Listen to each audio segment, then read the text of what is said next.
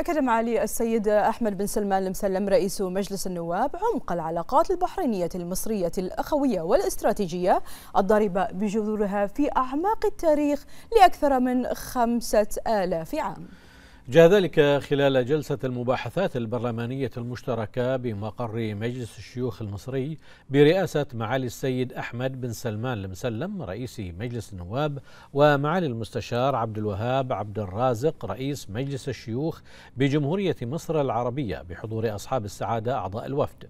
وأشاد معاليه بما تشهده العلاقات من تقدم وتطور وازدهار بفضل الرعاية الملكية السامية من لدن حضرة صاحب الجلالة ملك البلاد المعظم حفظه الله ورعاه وأخيه فخامة رئيس جمهورية مصر العربية ودعم ومتابعة صاحب السمو الملكي ولي العهد رئيس مجلس الوزراء حفظه الله وأخيه رئيس مجلس الوزراء بجمهورية مصر العربية.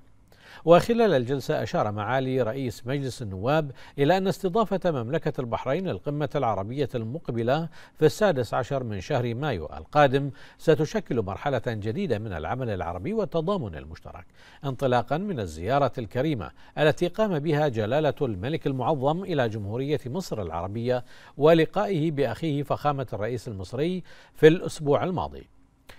وفي ذات السياق أكد معالي رئيس مجلس النواب أهمية تعزيز دور الدبلوماسية البرلمانية في دعم التعاون البحريني المصري في كافة المسارات التنموية بما يعود بالخير والنفع على البلدين والشعبين الشقيقين.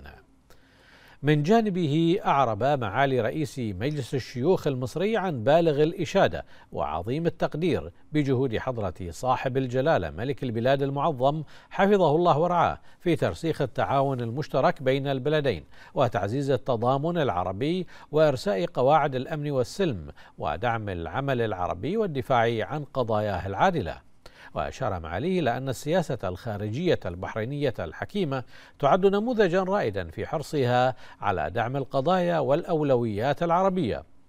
كما أكد معالي حرص مجلس الشيوخ المصري على تعزيز التعاون البرلماني مع مجلس النواب ومجلس الشورى في مملكة البحرين وتبادل الخبرات وتنسيق المواقف في المحافل البرلمانية.